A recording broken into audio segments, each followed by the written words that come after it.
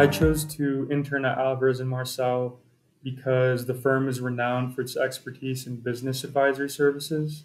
As an intern, I knew that I'd be exposed to a variety of industries and have the opportunity to learn about them from a financial and accounting perspective. I decided to join full time because of the hands on learning experience I received throughout the different projects I engaged in, as well as the collaborative work environment and overall getting to learn from highly experienced professionals.